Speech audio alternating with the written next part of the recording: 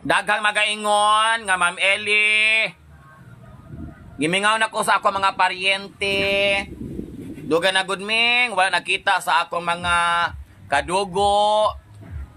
Kay tungod lagi nang langyaw mi, nanarbaho mi, nagkabulag-bulag mi. Aging pagpaningkamot sa kinabuhi. Hangtod karon, wala pag ko nakita nila in tawon. Sos! Tara mga panahon na day. Imposible na kayo na. Kaya nga no, nanagutay social media. Makakonect na ta, tibuo kalibutan. Miskal pag-asa silang lugar na. Miskal pag musoksok sila sa ilalom o giyuta. Makakonect lang gihapon kanila. Oh! Inana kabongga ang social media. Pero, feeling nako kaning mga tauhanan ni, wala ra gyud nag-effort nga makiget together sa ilang mga parente, makighimamat sa ilang mga kadogo. Kay posible man na. Lapas gyud sa kadako sa inyong banay, di gyud mo masubay. Masubay man gyud na. Mo tingali lang gyud tingali pagsubay nimo sa imong mga parente ay.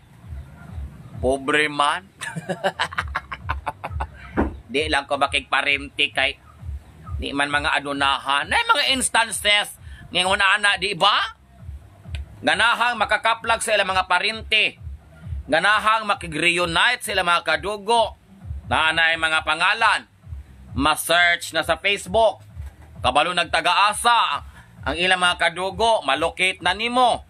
Kaya na nakatugan, nakasugilon. Nakanisikuan, nagapuyo diri. Be check ko be. Paglantaw.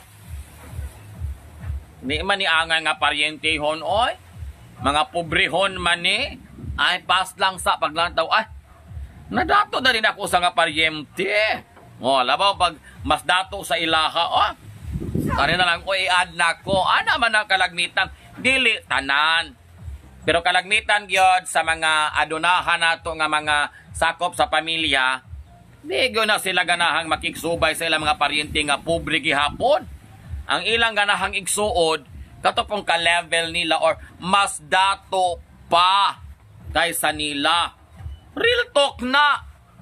Pareho ragod nato sa tinuoray o kanang pinobring kinabuhi. Kinsa man gyud magtagad-tagad sa atua, di ba? Wala. Kung pobre ka, naaman tingali pero anara po ato mga suod jud kay nga higala. Pero kanang mga parenthesis, mga laing tawo, muni mo na, jud ha magtagad sa imuha. Wa jud kay balur ana nila. Manusahay makasakit og bilahan. Tinuod ba ya? Makahinoklog baya ta. Makaingon po itong kaugalingon, aw inani ko din kinabuhi og pobre. Matay labot ana nila. Oh, nagamiingon nga, wala mo labot sa reunion. Nga, kamura mga mga dugo ah. Yung saon pod, kita mga pobre, paamoton, pamampod. oh, ang mga dato, kwartahan, mag-create-create og reunion. Unya kabalo kani mga pobre, wagoy madaw-daw. Walay mga kwarta. Paamuton pag yun. Mana lang mo pag reunion. O pagbalon mo diha tama sa inyong mabalon diha. Kay magkuanta ka ng itawag anag ah, hindi na sila nga pagbalon mo o kung sa inyo madad ah, pagbalon mo kung unsa inyo madalag mabit-bit diha kay magpatlak-patlak ta nya pag-abot dito social kay dito litson lagmi kay mga sudam ikaw diri kay patlak-patlak lagi. May nalagsampiton ka dali nang imo da itingob diri unya kay lahian man mog lamisa. Wala ra gihapon na hitabo nga reunion. Oh katutura mga datuanon kwartahan nga gadalag lagmig sudam sila pre gatapok-tapok. Kani mga pobre diri puro pre gatapok-tapok gilhed og lamisa. Arang apil-apil ko ana manausahay makaingon gud ta nga lahi ra gud og dalagan ang kinabuhi ning mga pobre basta naa na tay mga sakop nga mga datuanon lahi ra gyud Mag-reunion niya, paamuton ta. Kabalong pobre, sila mo daghang kwarta. Di na gud laman nila duphan, no? Okay, padalag sarap ng reunion, meg mag-reunion mo kada adlaw. Manang sa mga naingon nga lisod kaayo i-connect sa mga paryente. Di go ko mo to oy. Para jud kay gana nga mo connect sa imong mga paryente kay paglantaw nimo mga pobrehon, mga uyamot.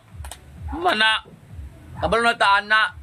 Ang uban dili ra mo claim claim nga inana ilang batasan pero mao gyud ilang batasan basta paglantaw nimo pobre ka ah, magtagad-tagad taan na. Pero paglantaw nilang adunahan, mas kwartahan pa nila, ka-level nila, sila po yung magkasinabot-sinabot. Hmm. Kaya wala mo kasulay, ana. Di mga dato mo. Kasayon sa equation. Mo nang tarong agyo yung mga desisyon sa kinabuhi kay na. Lifetime yun ako yung mga fallopian tube.